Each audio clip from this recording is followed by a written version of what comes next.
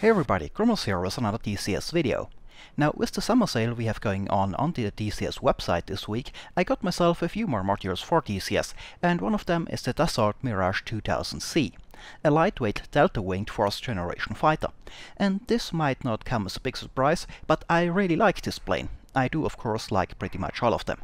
But in any case, I think the Mirage 2000 is a great addition to my collection and brings a few new things to the table I did not have previously. So let me give you a bit of an overview of the Mirage 2000C and what it can do, and then show you a little mission in it. Now the M2000 module is still in early access and beta, so there are one or two functions that are not implemented yet, but I won't go over that now because I flew the 2000C on the Nevada map in the version 2 of DCS World, which is an alpha still, and from what I've heard the 2000 is one batch behind in 2.0 compared to 1.5, so I want to look at the plane in 1.5 first before I go over that. So far though I did not have any actual problems with the plane. Well then, let's talk a little bit about the M2000 and what you can expect from the plane. Now the Mirage is the first full module of a 4th generation fighter we have in DCS. I think the next one will be the F-18C from ED, but I'm not 100% sure about that.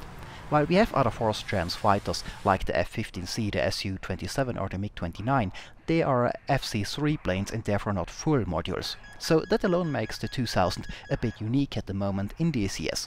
The C is the first version of the Mirage 2000, so its capabilities are mostly in line with 80s 4th generation fighters like the F-16A for example. The Su-2000 was initially developed as a successor to the very successful Mirage 3, and the layout of the plane is similar, with a low tailless delta wing. Also, the first in DCS, with the MiG-21 being a tailed delta. In the mid-70s, Dassault was working on a new heavy fighter project for the French Air Force known as ACF, which was meant to have similar capabilities than the also larger F-15A or F-14 Tomcat entering service at the time, though with a larger focus on strike capabilities than say the F-15. At the same time, they were also working on a lighter plane to replace the Mirage 3 and compete with the F-16 on the export market for light fighters. Now, the export market was an important consideration here, because the previous Mirage had done very well in exports and presented a large means of income. The projections for the chances of the heavier and more expensive AFC on the export market were poor as smaller export customers of course would prefer a lighter and cheaper plane as the Mirage 3 has been. This new light fighter would become the Mirage 2000, and as the heavier AFC project was cancelled eventually, the Mirage 2000 became the main fighter not just for the export market, but for the French Air Force as well. Now, make no mistake here, it being a light design does not mean bad, as the Mirage 2000 and other light fighters like the F-16 have proven. As mentioned, the Mirage 2000 is a light fighter similar to for example the F-16 and just like the Mirage 3 it was developed to replace, its primary focus was with the initial 2000C version we have in the module, interception, with some ground attack and multi-role capabilities, though later versions expanded on the multi-role aspect. Now, the delta wing is of course well suited for high-speed flight and the plane is very maneuverable at high speeds. The delta wing design is also capable of high angles of attack, however on slower speeds this wing design also needs a higher angle of attack to produce the same amount of lift. This leads to this wing design producing more drag at lower speeds, as the angle of attack is higher than on more traditional designs. That's something to keep in mind with delta-winged fighters like the Mirage. It's capable of impressive angles of attack and a good instantaneous turn rate, but it will lose speed and energy fast when maneuvering at high angles of attack, especially at lower speeds. So you can't stay in a turn fight for too long until you are at an energy disadvantage. In that the Mirage has some similarities to the MiG-21, which also has a delta wing, though a tailed delta wing design. Also because of the engine of the Mirage 2000, which is somewhat unusual. The fighter's M53P2 engine is a turbofan, and in its design, ease of maintenance, cost and easy handling for the pilot played a significant role. The engine is therefore a single shaft design, meaning that all the fan and compressor stages are driven by just one drive shaft instead of multiple. That simplifies the engine design. It can be built more modular and lighter, and the engine is therefore very easy to maintain, even in adverse conditions, for example improvised airfields as might have been used if the Cold War would have gone hot, and is of course also an argument for export customers. However, On the flip side, the compression ratio is pretty low in comparison to similar engines, which leads to a relatively low thrust in afterburner, compared to for example the F110 of the F-16 Fighting Falcon, leading to the thrust-to-weight ratio in full afterburner of the Mirage being not that impressive. So in a fight you want to keep the plane fast and if you are going to turn, try to end it fast. The Mirage turns well, just not for very long, you will lose energy fast. Now as armament we got 4 hardpoints under the wings for air-to-air -air missiles. The Matra Magic 2s on the two outer pylons, heatseekers comparable to the Sidewinder, and Super 530D semi-active radar-guided missiles comparable to the AIM-7 Sparrow on the inner pylons. Now just 4 air-to-air -air missiles is not that impressive, and was increased on later versions of the Mirage 2000, but for a light fighter the armament at the time was pretty standard, when the 2000C entered service. The F-16A at the time could just carry AIM-9 heatseekers, no radar-guided missiles at all, though that capability to carry AIM-7s was added later. And lighter active radar-guided missiles came later in the 90s. Now, the 2000C can also carry a number of air-to-ground munitions, giving it some multi-role capability. Unguided bombs like the Mark 82s, rocket pods and also laser-guided bombs, though it can't lase its own targets, a body has to do that. And last but not least, the Mirage is also equipped with two DEFA 30mm cannons. The guns are similar to the British Aden cannons and fire the 30 by 113mm NATO round, which is what the Apache fires as well. Well, that is a bit of an overview of the plane. Let's take a quick look at the mission and show some of its capabilities and how to use it. Now, one thing I noticed French pilots really like doing is flying low. There are a lot of videos out there of Mirage doing some nice low-level flying, and this mission will require some of this too. Now, here's the scenario. We are playing at Nevada again, and a large formation of OPFOR tanks were spotted advancing towards the Groom Lake base, intending to capture that important airfield. Now our forces on the ground, US and French armored units, Callsign Anvil, are heavily outnumbered by the enemy units and will need air support killing lots of enemy tanks if we want to defend the airfield. And this air support will be provided by a flight of Apache Longbow helicopters, Callsign Dragon, and two A-10As Voodoo flight are also on the route to provide air support. However, an observation post in the hills north to the Groom Lake facility has also spotted enemy SAM units behind the advancing OPFOR tanks, which would make the life of our air support units very difficult. Our observation post reports that we have two SA-8 Gecko mobile SAM launchers about in this area, as well as a SA-3 Goa SAM site which was set up here. Those SAM sites are protected by AA guns too. Now, those threats have to be taken out before our Apaches and A-10s are attacking the armored units. And that is where we in our Mirage 2000 are coming in. We get to play Wild Weasel and attack the enemy SAM units. After that we are to help provide air cover versus possible enemy fighters. Now, the Mirage does not have any long-range stand-off weapons to engage those SAMs out of their range. Luckily though, those older model SA-8s and SA-3 SAMs have trouble engaging targets that fly fast and low, though that might depend on your definition of flying low. So we have to do a little bit of low-level flying and attack the SAMs at close range so that our Apaches and A-10s can attack tanks without being engaged by those SAMs. The AA guns are protecting the SAM sites themselves and should not be a threat to the Apaches when they attack the advancing tanks. Now the Mirage 2000 with its fly-by-wire system is well suited for low-level flying and you can be very precise with it at low level.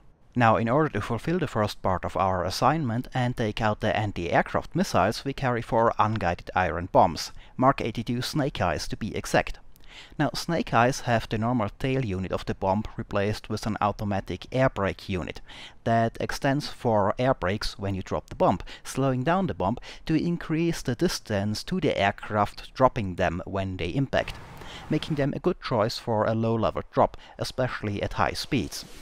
Now, the Mirage can also carry cluster bombs, which can be a good choice versus anti-air positions, but they need a bit more altitude than I intend to drop them at to be effective and also while the SA-3 radar units are unarmored, the SA-8 launchers do have some light armor and the small bomblets are sometimes a bit unreliable against them. Since we are expected to provide cover versus enemy fighters after we expand our bombs, we also carry our full air-to-air -air load, two Magic 2s and two Super 530s, as well as a centerline drop tank since the Mirage uses up fuel pretty fast. Now the Mark 82s we carry are 500 pound bombs with about 200 pounds of explosives and I plan on dropping 2 at every of the two SA-8 Geckos. Still though, in order to take out even a lightly armored vehicle like an SA-8, you need almost a direct hit with one of those bombs in DCS. After all, damaging it isn't good enough, it needs to be destroyed. So we do need to do a pretty accurate hit with those bombs. Another reason why I plan to do a low level attack, as a dive bombing attack is most likely not accurate enough for those bombs to land close enough to do the trick. Dropping the bombs with the help of the ballistics computer from low altitude at exactly the right moment though lets you throw the bombs directly into the side of the target vehicle.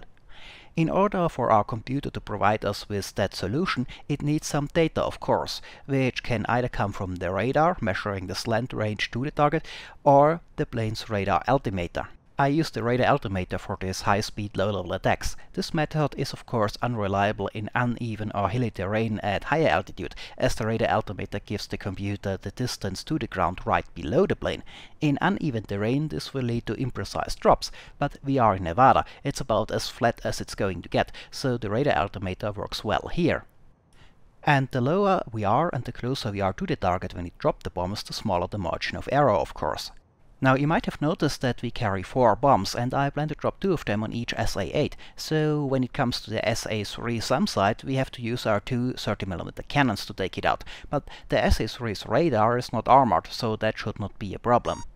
Now Groom Lake and the forces there are just coming inside, and I want to approach through the hills to the east of the enemy SAMs to get as close to them as possible while being hidden from line of sight, before flying out over the open desert at low level to search for and destroy the SAM units we have the radar warning receiver which is already picking up the SAM units to provide us with the rough direction to the SAMs and uh, luckily in the open desert they should be easy to find. I also fire up my ECM system though I don't know if it will make much of a difference at this range and keep dropping chaff in regular intervals to make it as hard as possible for the enemy SAMs to lock on. Now, when I break out of the hilly terrain with the radar warning receiver providing the rough direction to the targets, I hope I'll manage to have the first gecko lined up in front of me as I get line of sight of the large open area in which the targets are located, and I can immediately start my attack on the first target.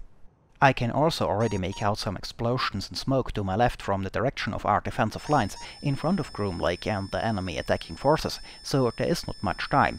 The Apaches are ready to take off from Groom Lake itself and can be in action right away, but will only take off after we have taken out the SA-8s, so we have to take those out before enemy ground units get too close to the Apaches on the ground.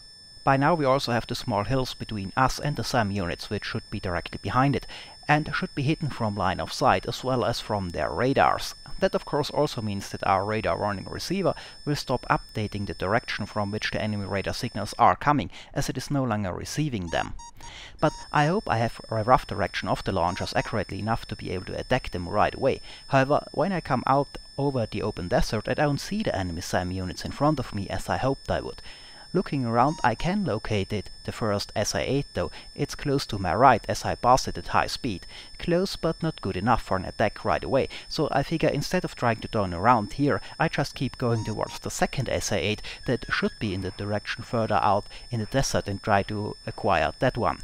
I also reduce my altitude to keep them from firing at me. I can spot the SA-8 launcher and my ballistics computer gives me the predicted impact point. At this altitude that should be pretty accurate and I drop right before the circle passes the SA-8, which should throw the bombs pretty much into his side. I can hear the explosion and looking back see some smoke indicating that the target is destroyed. I also take some fire from 23mm anti-aircraft cannons, but those ZU-23-2s are manually aimed and have a hard time hitting a fighter flying at high speeds, though of course it is far from impossible.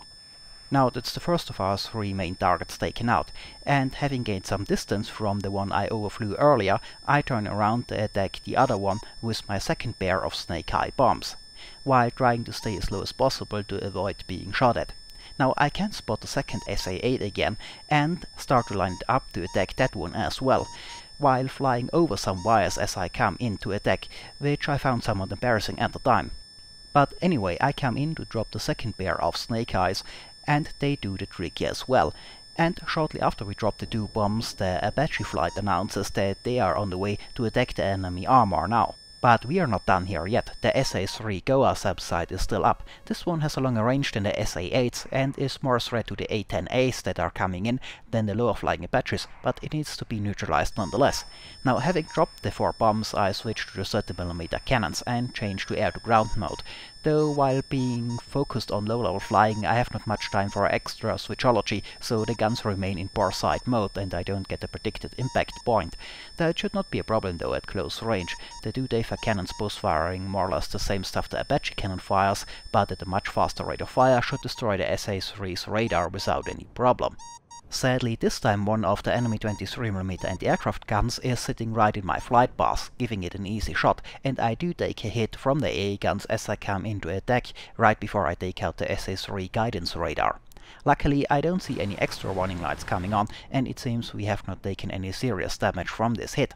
The SA-3 SAM site, though, without the targeting radar, is now harmless, and the flight of A-10s is on its way also. Together with the Apaches, they should be able to turn back the enemy armored attack pretty fast. I meanwhile turn back towards our lines at the Groom Lake facility and check the warning light panel again, as well as the engine instruments afterwards to look for signs that I might have taken damage and have to go land. Nothing indicating damage though, just that I'm out of bombs, but I know that already. To the left I can also see the Apaches over our lines. But then our E-3 AWACS planes that is circling around over Las Vegas is coming up on the radar, announcing new contacts coming in from the northwest, which is OPFOR territory, so those are most likely enemy fighters. So time to get this bucket ready for air-to-air -air combat. I activate my Super 530D radar-guided missiles, though I keep my radar off for now. Then I also notice that my external fuel tank is empty, so time to get rid of that by flipping the drop switch over to the left, selecting the drop tank and then dropping it with the trigger. It is advised though to move that switch back to the right after that though, if you don't want to drop your air-to-air -air missiles instead of shooting them. Having dropped the empty fuel tank, I start to turn around and overfly Groom Lake as I slowly start to turn to the northwest again, where the E3 AWACS has first indicated those two new contacts. Now, shortly after that though, the E3 also confirms the identity as hostile, enemy fighter bombers coming in, and they are tasked to intercept them. Two more friendly fighters are also coming in, but they are further out than we are. I first plan to keep my radar off to surprise the enemy fighters using the AWACS to guide me close enough to be already in fire range when I fire up the radar, but I apparently don't have the right frequency and no time to play with the radio now. Also, my job is to prevent the enemy fighters from attacking either our Apaches or A-10s, or ground units, so I figure showing my presence with my radar might make them focus on me first and ignore the Apaches and A-10s. So I get my radar, which was in standby mode till now, turned on and head in the direction the enemy fighters were reportedly coming from. The Mirage 2000's radar has a pretty decent range, and shortly after firing it up, I already have two contacts on the scope, indicated by the V symbol. Closer than I thought, they would be too, and turn into them. I do have one of the AA guns shooting at me too, but I hope I'm too high and fast for the manually aimed guns to be very effective. Still, I turn and climb a bit to present a more difficult target, then select my Super 530D radar-guided missiles again and lock up the first target, but in track while scan mode for now, to keep an eye on the second target as well while I do so. When I want to fire the missile though, I have to switch to single target track mode, as the Super 530s are semi-active radar-guided missiles. I don't get the radar warning from the enemy planes indicating that they don't have radar-guided missiles, but that does not mean they don't have heat seekers, and some of the Russian fighters can fire active radar-guided weapons at you using their infrared search and track sensors to provide initial launch information. With the extra information I get from the log I can see that the targets are a bit below me and I descend a bit so I can look up at them, and I fire up my afterburner to speed up and give my missiles more energy. Now I switch to single target track mode and engage the first target. I plan to fire my two Super 530s at the first target, getting rid of the heavier radar-guided weapons which are not that good in close quarter combat, and hopefully taking out the first target, and then using the Magic 2 heat seekers in close combat mode. My two radar-guided missiles do hit the first target and take it out, but since I had to switch to single target track mode to use them I lost track of the other one, Last I saw him on the radar, he was behind and to the left of the first one and I expect the second target to go after me as I attack the lead plane, so I go up in a turn, launching flares and try to acquire the second plane, which I expect to be somewhere behind me by now. However, I can't find him. Which is a bit unnerving. I assume though that the second plane just kept going towards the objective when I attacked the lead plane, which is a bit unusual, but I keep up some evasive maneuvers for a bit just in case because an all-aspect heat-seeking missile can be fired from all angles and could be coming from everywhere, not just from directly behind. But there really does not seem to be another enemy plane around, and at this point I wonder if he might have even crashed. So I eventually turned back towards Groom Lake, in case the enemy plane went there, while still keeping a lookout behind just in case. Turning back towards the Groom Lake facility, I do get a quick radar contact, but lose it again. And of course there are a lot of friendly planes in this direction as well, so it could be anything. But I fly in this direction, and so far I see no indication of another enemy plane. And since the one I shot at earlier was flying pretty low, I expect the other one, should it still be around, to also be on lower altitude. I get the contact notification from the AWACS every now and then, but it is hard to tell what, if anything, is enemy and what friendly like A10s popping up on the AWACS screen after pulling up from a gun run. Now I can see a A10 in trouble getting fired at by a 23mm AA gun, but not an enemy plane, and if the A10 thinks it's a great idea to fly circles around uh, over an enemy AA gun, then that is his problem. However, the enemy ground forces got decimated, and we soon get the message that the enemy attack has been repulsed by now and we won. All I have to do now is make sure that there are no more enemy planes around. Now, a pair of friendly F-18s has arrived by now too, and they do spot the enemy plane, which was on higher altitude than I thought, and shot it down. So we are clear and the objective is fulfilled. We took out the SAMs and the Apaches took out most of the attacking tanks, so this is it for this mission in the Mirage 2000C. Now, I hope I could give a bit of an overview of the plane and some of its capabilities. It's certainly a fun plane and with more Mirage fighters coming up in the future for DCS, I would not be surprised if this would become one of my favorite fighter lines. I also really like some low-level high-speed fighter bombing attacks, and I think that mission would be a good example for why. Well, and this is it for this video. As always, I hope it was enjoyable, thanks for watching, and maybe I'll see you next time.